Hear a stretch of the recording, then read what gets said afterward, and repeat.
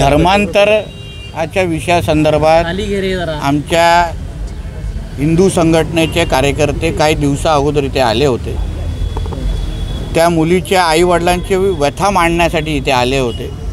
आणि संबंधित पी आयनी आणि त्याच्या लोकांनी त्यांना अक्षरशः आरोपीसारखं तुडवलं मारलं. या सगळ्याच्या सगळ्या गोष्टी C C C C C T V फुटेजमध्ये आहेत. तुझ्यावर तीनशे त्रेपन्न दाखल करू. इथपर्यंतची मजाल गेली. हे काय आमचे तिवारी आणि आमचे जे काय कार्यकर्ते आहेत हे हिंदू मुलींना धर्मांतर कोण करत असेल तर ते थांबवण्यासाठी पुढाकार घेतात सुरक्षता देण्यासाठी पुढाकार कर देतात. हे काय अजमल कसाब नाही कुठला अतिरेकी नाही इथे काय चोऱ्या माऱ्या करत कल्याण आणि उल्हासनगरमध्ये फिरत नाही. म्हणून आज हिंदुत्ववादी विचाराचं सरकार महाराष्ट्रामध्ये आहे.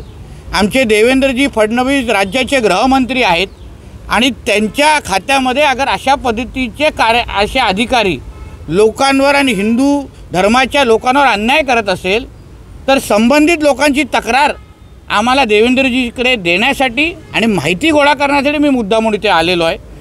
ह्या लोकांना ज्या पद्धतीने मारलेलं आहे सक्षम असा कायदा ज्याच्यामुळे या पोलिसांना कारवाई करण्यामध्ये दोन विचार होताना होणार नाही. तर आता काय लग्न केलं जातं. आणि आमच्या मुलीने लग्न केलं आहे आता काय थांबवणार? असा विषय होतो. म्हणून स्पेशल मॅरेज ॲक्टमध्ये बदल आणण्याचा आमचा प्रयत्न आहे. ते आम्ही आणू आणि तुम्हाला डिसेंबरपासून हा त्रास पोलिसांना पण होणार नाही एवढं आम्ही काळजी घेऊ.